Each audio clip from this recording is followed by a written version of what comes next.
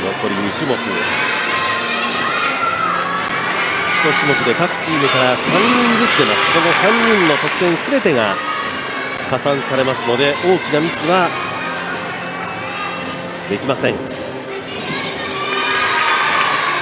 ちらは徳洲会体操クラブの岡慎之助。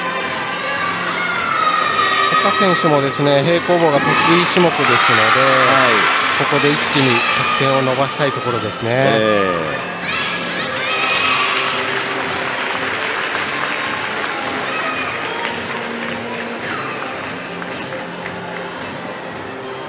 ー、さあ間もなく演技に入りますがこのローテーションは平行棒に特集会そしてセントラルという2つのチームが出てきます。岡慎之助。後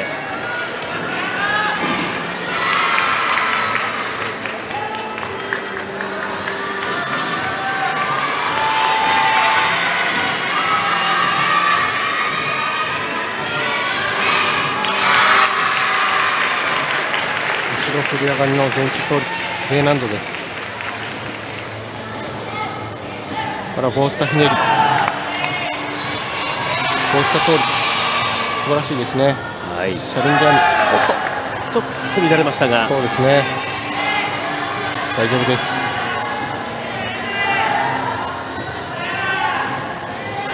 マクツ。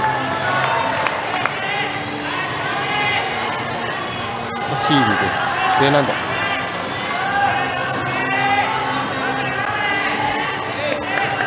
ここでチッペルト。バ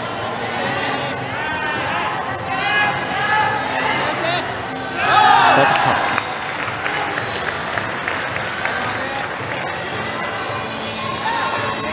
ツイスト。おっと。捉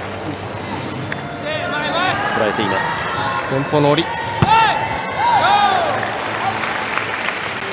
少しね、あの後半とあの前半でこう、手を動かしてしまうような動きがあったんですが、まあ、